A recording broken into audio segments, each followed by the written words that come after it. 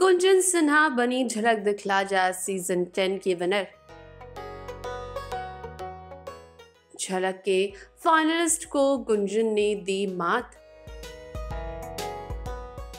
जी हाँ गुंजन सिन्हा बन चुकी हैं झलक दिखला जा सीज़न टेन की विनर जहाँ उन्होंने बाकी कंटेस्टेंट्स को शो में दे दी है मात।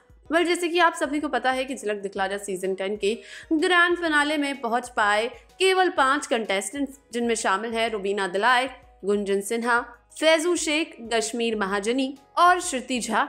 जी हाँ जहाँ इन चारों कंटेस्टेंट्स को गुंजन सिन्हा ने दे दी है मात और वो बन चुकी हैं झलक दिखला जा सीज़न टेन की विनर वेल हम आपको बता दें कि गुंजन को ये खिताब मिल चुका है। और गुंजन ने रुबीना दलाय काश्मीर महाजनी श्रुति झा और फैजू शेख जैसे डांसर्स को मात दे दी है और वो झलक दिखला जा सीज़न टेन की ट्रॉफी उठाने में कामयाब हो चुकी हैं। आपका क्या कहना है? इस पूरी अपडेट को लेकर हमें कमेंट सेक्शन में ज़रूर बताइएगा। और इसी तरह की खबरों के लिए हमारे चैनल को सब्सक्राइब करना ना भूलें।